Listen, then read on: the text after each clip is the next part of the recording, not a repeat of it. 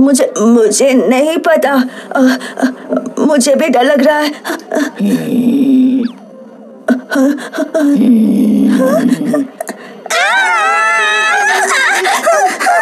Hello बच्चों डरो नहीं।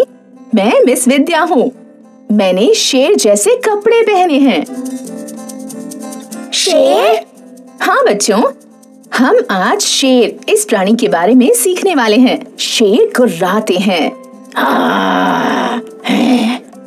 बिल्कुल इस तरह से।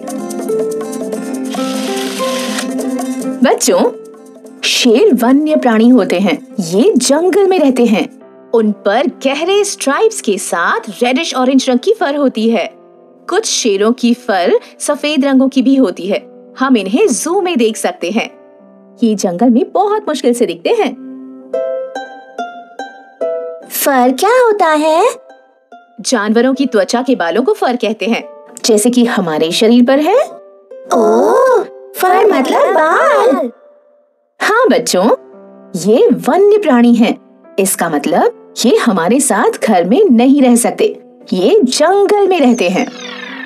बच्चों आप जानते हैं कि शेर के बड़े और नुकीले दांत होते हैं। ये दूसरे प्राणियों को खाते हैं। तो इनके बड़े और नुकीले दांत इन्हें दूसरे जानवरों को खाने में मदद करते हैं। वाह! ठीक है बच्चों तैरना किसे आता है? मुझे मुझे। वाह! बच्चों बिल्कुल तुम्हारी तरह शेरों को भी तैरना अच्छा लगता है। तो बच्चों देखते हैं कि हमने शेरों के बारे में क्या क्या सीखा। शेर का रंग कैसा होता है? रेडिश ऑरेंज फर पर गहरे रंग की फर हाँ बहुत अच्छे, ईशान। ठीक है। शेर रहते कहाँ हैं? घर में या जंगलों में? जंगल में।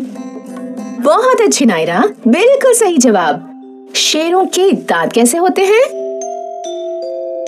बड़े और नुकीले। Very good Riya. बिल्कुल सही। इनके दांत बड़े और नुकीले क्यों होते हैं? ताकि वो दूसरे प्राणियों का आसानी से शिकार कर सके। ओके, अब मुझे कौन बताएगा कि शेर खाते क्या है? दूसरे जानवरों को। वाह, बिल्कुल सही।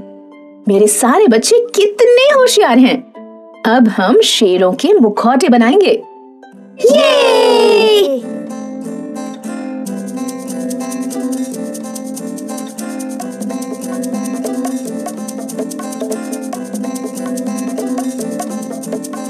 और अब मुझे कौन बताएगा कि शेर गुर्राते कैसे हैं?